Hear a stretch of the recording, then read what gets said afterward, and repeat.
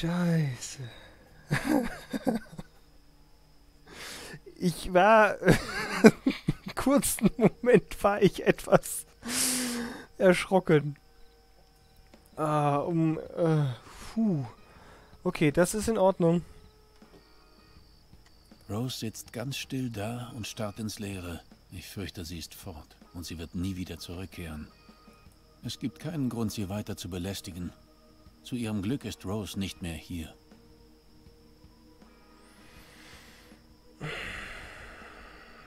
Das ist Rods alter Revolver. Der Lauf raucht noch und der Geruch nach Schießpulver sticht wie Nadeln in der Lunge. Ich lasse den Revolver lieber hier. Rose hat die einzigen beiden Kugeln darin sowieso verschossen. Ich glaube, diese Bastarde haben gerade ihre letzte Runde gespielt. Ich kann mir nicht helfen, aber ich denke, sie haben es verdient. Auch wenn das ein Gedanke ist, der dem Jäger sicher gefallen würde. Klar, Geld, Krapsch. Wo ist, eigentlich, wo ist eigentlich das Geld, was wir denen gegeben haben? Nur ein paar lausige Münzen. Sie sehen nicht aus, als wären sie viel wert. Nur ein paar Pennies. So, aber der Generator, wer es vorhin gesehen hat, hier ist ein Loch. Da ist Wasser drauf gelaufen. Auf den Generator. Verdammt. Das passiert, wenn Flüssigkeiten mit elektrischen Geräten in Kontakt kommen. Das Wasser hat ihn vollkommen zerstört. Ich möchte wahnsinnig werden. Nein, das Wasser hat den Generator in einen großen Haufen Schrott verwandelt. Warum sollte ich ihn in dem Zustand mitnehmen wollen? Weil ich es dir sage, Michael. Uh. Aber was zur Hölle... Schon wieder so ein Bild, das sich wiederholt. So eine Zeitschleife. Nein. Rose, tu es nicht. Nein! Das ist Rose, die wieder ihre Zuhälter tötet. Aber irgendwas ist diesmal anders. Diese Zeitschleife fühlt sich viel realer und intensiver an. Wir können den mal wegnehmen.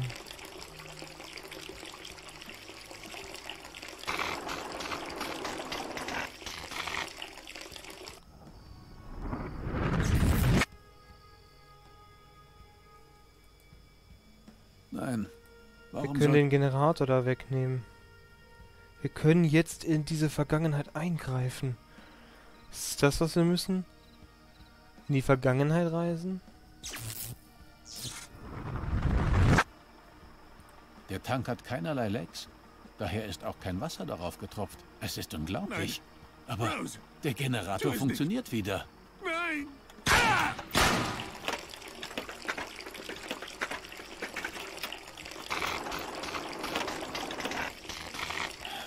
Verdammt.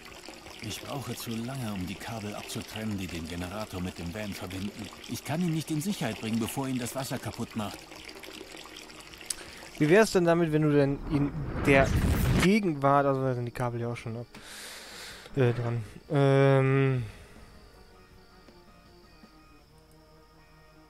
Zu spät. Ihn jetzt abzudecken wird...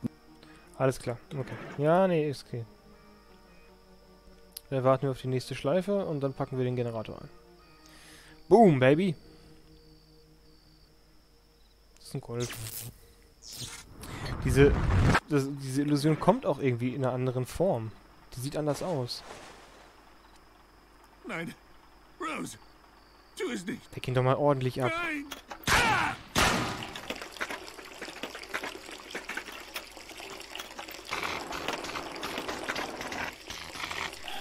Verdammt. Ich brauche zu lange, um die Kabel abzutrennen, die den Generator mit dem Van verbinden. Ich kann ihn nicht in Sicherheit bringen, bevor ihn das Wasser kaputt macht. Ah, verdammt, er ist kaputt. hasse Es hat nur gereicht, um die eine Seite des Generators abzudecken. Boah. Ey. Das kann nicht euer Ernst sein. Ey, was sind die Entwickler denn scheiße zu einem? Was soll das denn? Jetzt muss man sich echt noch was aus den Fingern saugen und an eine andere verkackte Plane oder sonst was zu kommen. Was soll das?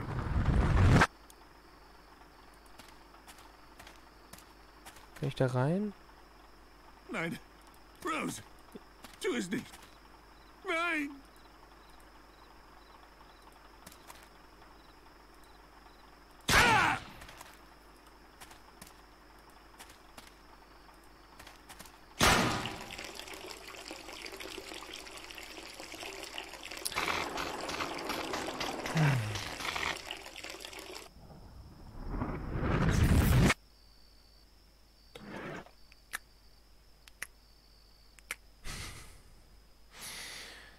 Manchmal.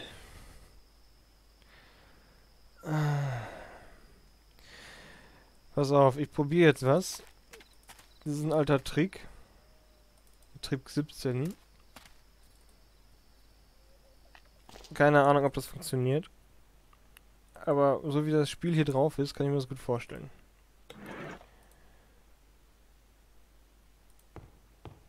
Mal sehen. Die Münzen passen perfekt in die Köpfe der Schrauben. Ich werde sie problemlos lösen und die Leinwand mitnehmen können.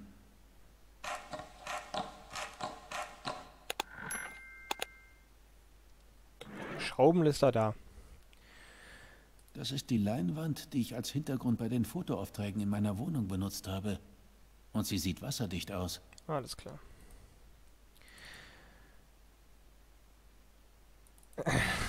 Huch, nein. Also, ich möchte ja nichts sagen, ne? Aber diese Entwickler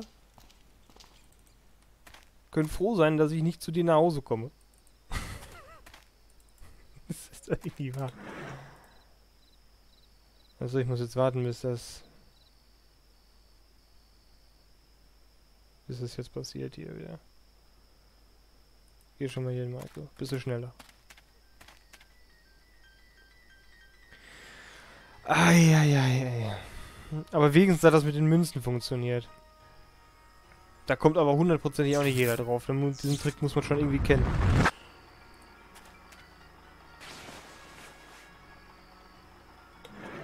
Nein! Rose! Tu es nicht! Nein! Na komm, schieß.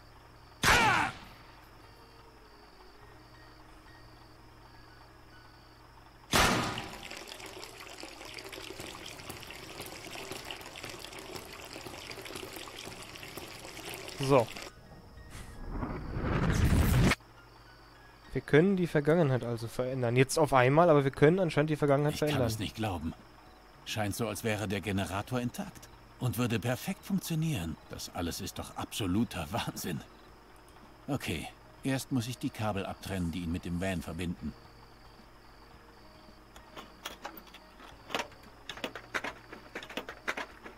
Und den Generator stecken wir dann einfach so in die Tasche. Natürlich, in den Koffer. In den Koffer, den wir auch immer dabei haben. Ja. Schläger, Bustür. So. Der Raum müsste jetzt noch düsterer und morbider wirken als vorher. Ich gehe da nicht mehr hinein. Oh, liebe Rose. Aber wenigstens konnte sie es selber tun. So, jetzt haben wir einen Generator. Und jetzt möchte ich wieder Fortschritt haben. Denn, wie wir alle wissen, Fortschritt bringt uns weiter. Und nicht in die Apokalypse. Ich habe den Generator, Chris. Großartig, Michael. Ich wusste, du würdest das schaffen. Ich starte kurz den Computer und schau mir den Bericht an. Als Chris den Laptop hochfuhr, entschied ich mich, die Füße für einen Moment hochzulegen. Ich war erschöpft. Mein Verstand versuchte einen Sinn zu finden in den letzten Stunden meines neuen Lebens, die mir wie eine Ewigkeit vorkamen. Die ersten Stunden nach meiner bitteren Geburt in diese neue Welt.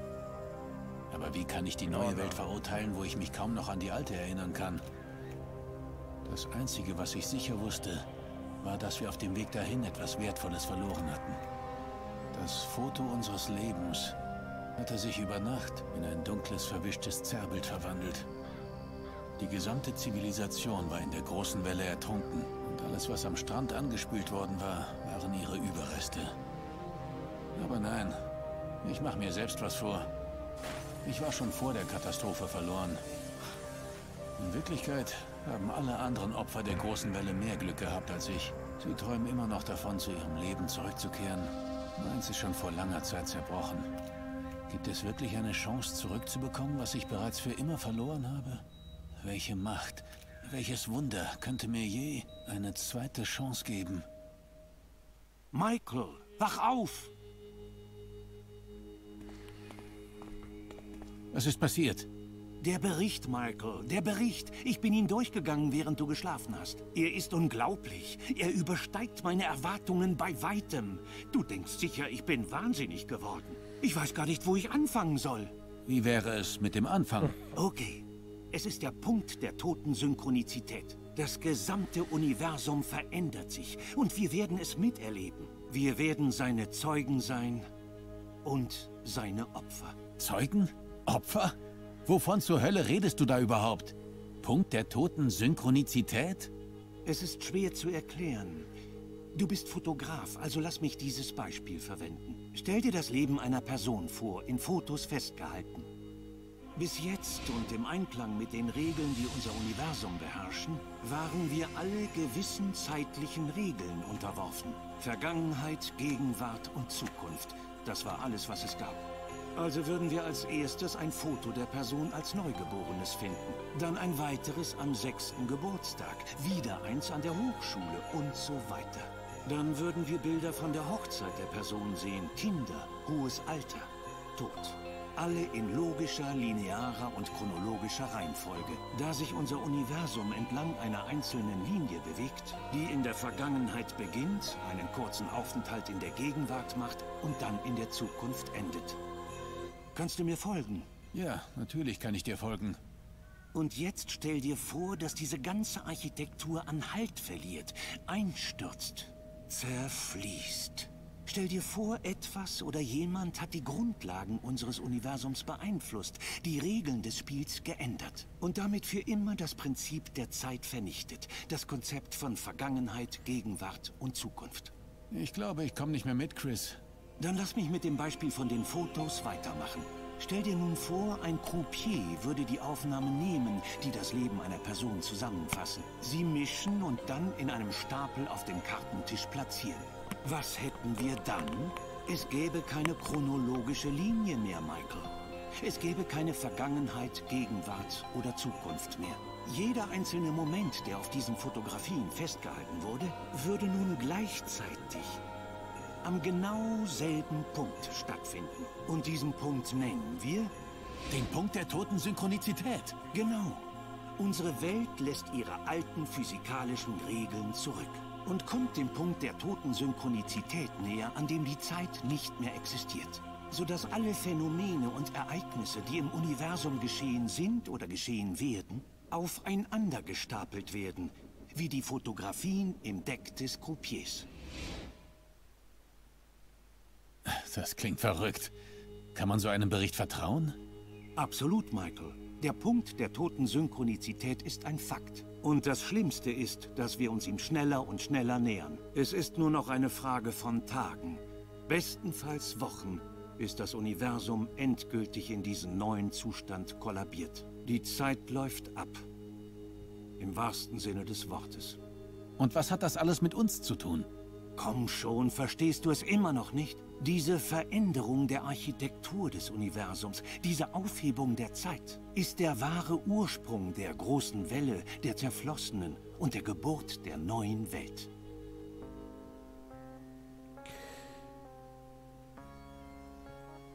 Ja, genau, Chris. Richtig, ja.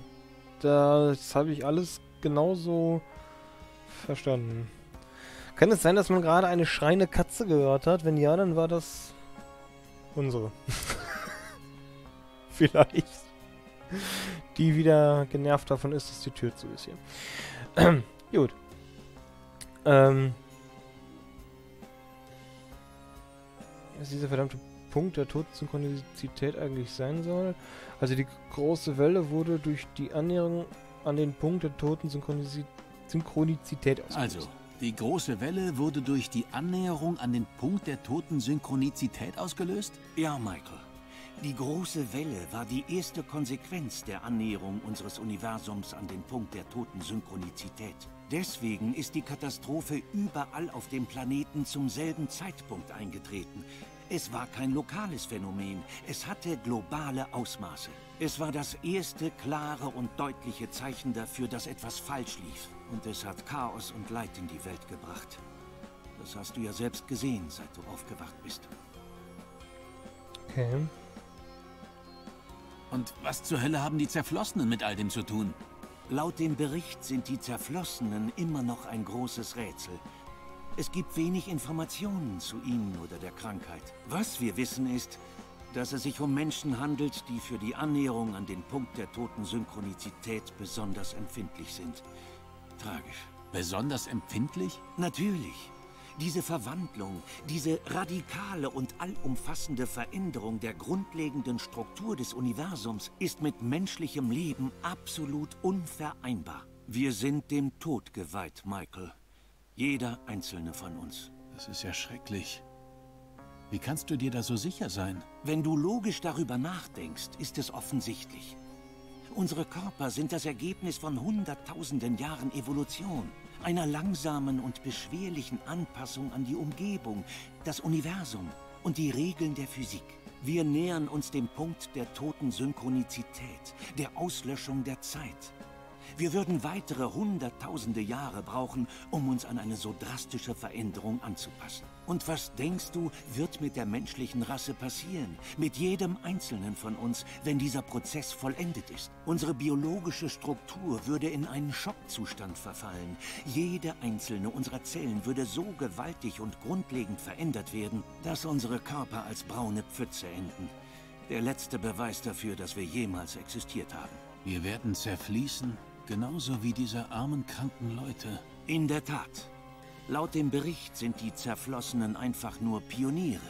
Menschen, die ihrer Zeit voraus sind. Die Vorhut der Menschheit auf dem Weg zu ihrer endgültigen Auslöschung. Deswegen sind einige Fälle schon so früh aufgetreten. Schon vor der großen Welle. Ihre biologische Struktur kam der gigantischen Explosion um Stunden oder gar Tage zuvor. Und deswegen nehmen die Fälle exponentiell zu, je näher wir dem Ende kommen. Verstehst du das? Wir werden am Ende alle zu Zerflossenen werden. Schöne Aussichten. Das ist doch mal schön. Dann können wir uns doch jetzt auch gleich sofort hier... Ich meine ja nur... Das letzte Mal, als wir miteinander geredet haben, hast du gesagt, es könnte eine Lösung geben. Ein Weg, diesen Wahnsinn ungeschehen zu machen. Ja, und das ist der beste Teil dieses Berichts. Theoretisch, und obwohl das paradox klingt, Michael, bringt die Annäherung an den Punkt der toten Synchronizität auch die Möglichkeit mit sich, die Dinge zu ändern, den Prozess umzukehren und zum Anfang zurückzukehren, bevor unsere Welt zusammenbrach. Und wie soll das gehen? Indem man zum Kern der Anomalie vordringt, das Herz der toten Synchronizität. Den Punkt, an dem die Zeit gerade erst beginnt sich zu falten, bevor der Prozess abgeschlossen ist. Wenn man sich am Punkt der toten Synchronizität befindet, wo jeder Moment, der im Universum geschah oder hätte geschehen können, gleichzeitig existiert, warum sollte man dann nicht den Zugang zu dem Moment finden können, an dem jemand die Katastrophe ausgelöst hat und sie stoppen? Aber das ist doch völlig unglaublich. Redest du von Zeitreisen? Ja, von der Möglichkeit, unsere Vergangenheit zu erreichen, um unsere Gegenwart zu retten. Und unsere Zukunft. Davon, die große Welle und die neue Welt in einen einfachen Albtraum zu verwandeln, der nie wirklich geschehen ist.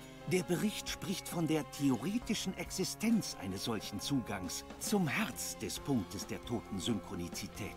Ein Zugang zu jedem einzelnen der Momente der Vergangenheit, Gegenwart und Zukunft unseres Universums. Und wenn wir durch diesen Zugang die Möglichkeit hätten, den exakten Moment zu erreichen, in dem alles falsch zu laufen begann und wir so die Dinge ändern könnten, dann denke ich, sollten wir uns in der uns verbleibenden Zeit einzig und allein darauf konzentrieren. Aber ich muss den Bericht weiter studieren.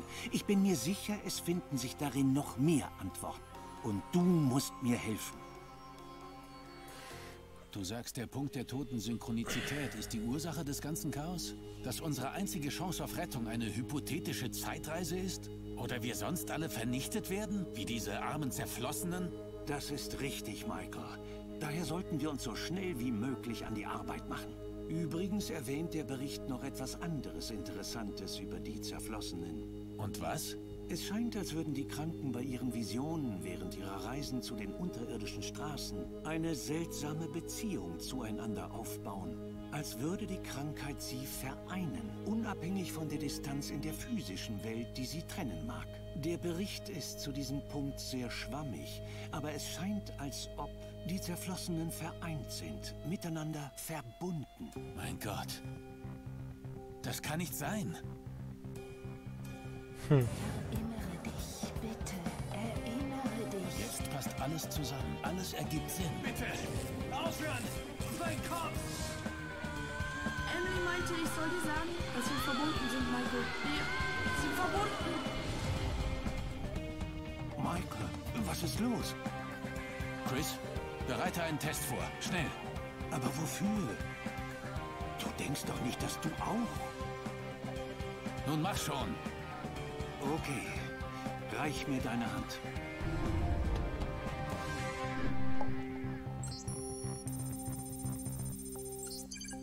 Der Test ist positiv. Michael, du bist krank. Du bist ein Zerflossener. Wir sind alle Zerflossene, oder? Das kann nicht sein. Nein!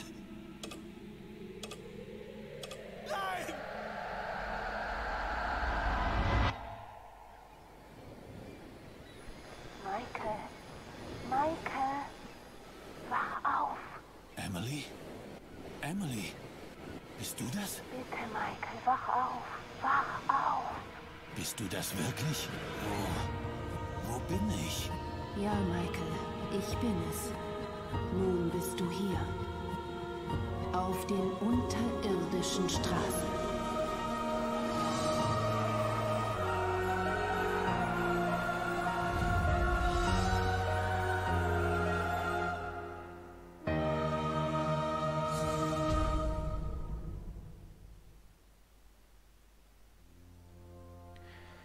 Ihr wollt mich doch verarschen.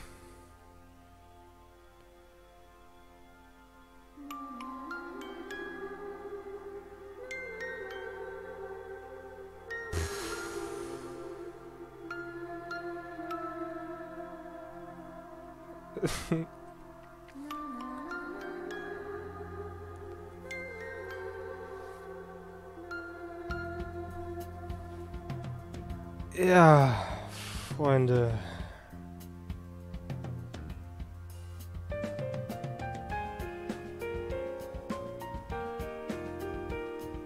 Wir spielten That Synchronicity. Tomorrow comes today. Äh. Tja.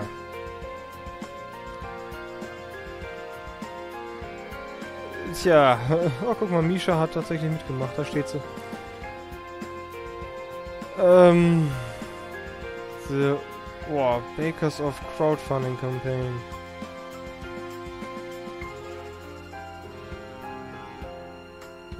Many our mom and our dad. Ah, ja, okay, das Spiel war also eine Crowdfunding-Kampagne. Diese Musik ist sch schlimm. Boah, ja. Alter Falter. Das Spiel kam 2015 raus. Dann ist die Frage, schaffen sie es einen zweiten Teil zu machen? Und German Translation.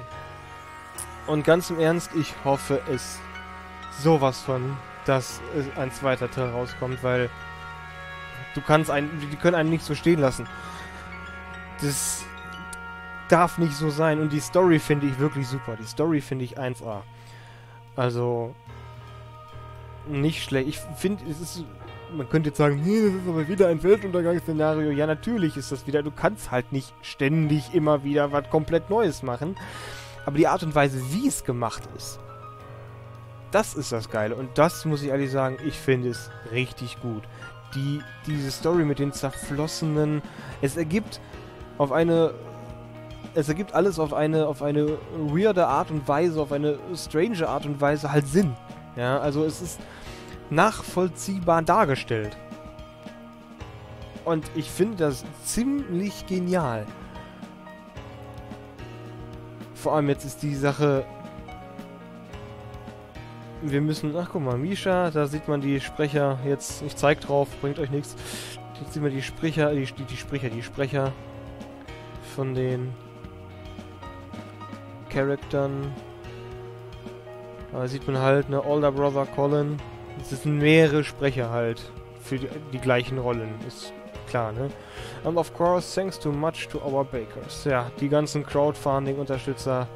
Alter Falter, guckt euch das an. Wahnsinn. Und das ist gerade mal A. Ne, also. Das ist schon krass. Andrew Klukas, Andrew Funk, Andrew S, Andrew, Andrew, Andrew, Anna F, Annemarie, Anonymous, Dark Chocolate,